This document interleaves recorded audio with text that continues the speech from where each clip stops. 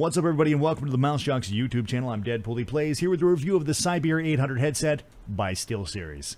The 800 model is one of the top of the line models of the SteelSeries Siberia line of headsets. It boasts wireless on the 2.4 gigahertz frequency, memory foam ear cuffs, as well as rotating ear cuffs so that you could wear them flat against your chest or put them down on a table, a retractable microphone, as well as memory foam headband for comfort, a range of roughly 40 feet, two batteries within the box so that you can hot swap them uh, very easily by removing one ear cuff and hot swapping the batteries.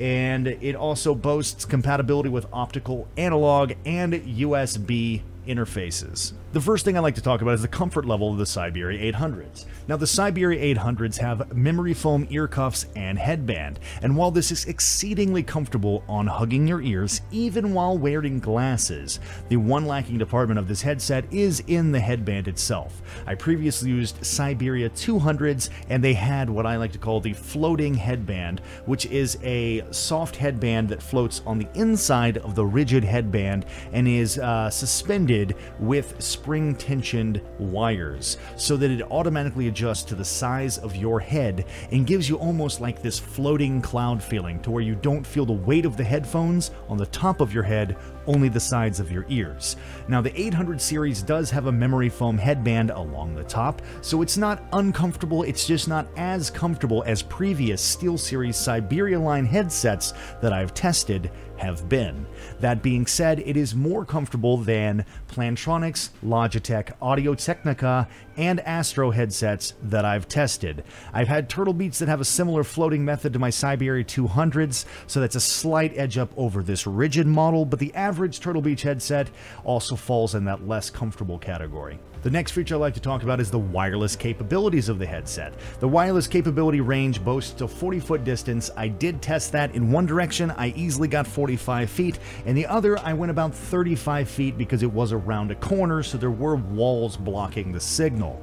All in all, an excellent range. I can't see needing to be more than 30 to 45 feet away from the base station unless I'm doing chores around my house or something else ridiculous. And if that's the case, you can very, very easily and conveniently plug a audio cable into the bottom of your headset and use them as an analog headset. The base station boasts many features, including a volume control knob. Selector switch is the volume control knob itself. That's a back button. An LCD display, many interfaces. You had optical in and out, a USB that is both in and out. You have a chat cable for the microphone's output, and you also have an analog cable for the speakers coming into your headset. That also includes a slot on the side which houses your second backup battery so that you can actually charge one while you're using the other. I tested the life of said batteries, and the batteries lasted right around 12 hours for one and 13 hours for the other. The recharge time of the second battery was right around the two hour mark, so by the time I needed to put the second battery in, it was fully charged and ready to go, which means at no point do you need to go wired like other previous wireless headsets that I've owned. Now on to the microphone quality. As you can hear, it is slightly lacking in the department compared to a nice condenser or dynamic microphone such as my Electro Voice RE20, but it does the trick of a headset microphone and sounds on par with every other headset that I've tested. One feature of the microphone which is nice is they do have an on-the-fly mute button. As you can see here, it's red. That means it's muted. With another push of the button, it's unmuted to let you know whether or not your headset is muted or unmuted, and that is easily configured with a tap of the power button. You also have a control slider here to adjust the volume of your microphone as well as the sources that it selects, and you can see everything going on with your microphone settings on the LCD screen of your control station. On to the quality of playback. So the sound in the headphones is very, very superb. I've tested headphones from Audio Technica, Sennheiser, uh, Bose, Plantronics, Logitech, Turtle Beach, and other SteelSeries headsets. Where does it rank? It ranks up there with very, very high end studio quality headsets, such as standalone headphones as my Audio Technica ATH M50s. It's right there alongside it. The only headsets I would say it really doesn't really reach is the quality of some very expensive four to five hundred dollar Bose headsets or Sennheiser headsets designed for that music experience or that rich, rich audio experience. But as far as a gaming headset goes, I've never had a gaming headset that's close to the same sound quality as the Siberia 800s. Where does that leave us in the category of ratings? In comfort, I'm going to give it an 8.5 out of 10.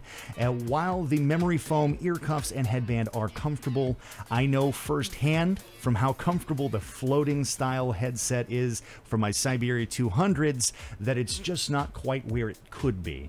While it is exceedingly comfortable and blows many other headsets out of the water as far as the length of use and the comfortability, I know what could be, and it doesn't quite rack up to that headset style or the top of headset style. In the department of sound, I'm going to give it a 9 out of 10. It ranks up there on par and above almost every other gaming headset and or a headphone that I've tested. You get rich, rich basses. You get very, very clear mids and trebles. You have an option for Dolby Digital 7.1 surround sound. So in your games, you're going to have directional feedback and know where to aim. You're going to know when somebody's behind you or in front of you or to the side. Very, very excellent, superb sound. The topic of microphone quality, it's about a 6 out of 10, but that's pretty much the standard for any gaming headset, 6 or below, and that's on a scale that would include dynamic and condenser microphones on it as well. And in the category of features, such as the wireless, the accessories it comes with in the box, the convenience and use of the base station, as well as the lifespan of the batteries, it's a 10 out of 10 easy, easy hands down decision. The control station has every feature you would want. Not only does it have the interfaces you would want, but the accessories within the box come with literally every cable connection you could need optical cable, USB cable, power cables, analog cables, analog to chat cables for your Xbox. It comes with the analog to cell phone cable for your phones. So it has every cable connection you could hope for. Usually, when you get a headset or an audio device that says it's compatible with this, that, and whatnot. It only comes with one or two of the, the kit and caboodle, whereas the Siberia 800s come with every single cable that you can need in every possible configuration, which is excellent. It comes with two batteries, even though they could have only included one, which means you never have downtime having to charge your device. You can put one battery in and very easily hot swap it for your backup battery as needed. Overall, I give the Siberia 800s by SteelSeries a 9 out of 10. Among its peers in the gaming headset category, it reigns supreme as the top gaming headset. Why I didn't give it a 10 out of 10 is simply because with a few small tweaks that I mentioned over the course of the video, it could easily, easily be the best headset in the world, hands down. And I'm looking forward because I know that SteelSeries takes in these takes these things in these features into account to develop top of the line products for its fans, for the gamers. It is gaming equipment by gamers for gamers, and I know that the technology that are going to be right around the corner as far as the audio equipment goes is going to be superb. So I'm looking very, very, very forward to a bright, bright future of the Siberia line of headphones from SteelSeries. Thanks for watching, guys. If you enjoyed the video, be sure to like, comment, and subscribe down below for more gaming reviews, as well as reviews on gaming-related peripherals and hardware. This has been Deadpooly Plays with the Mouse Jocks YouTube channel. Peace out.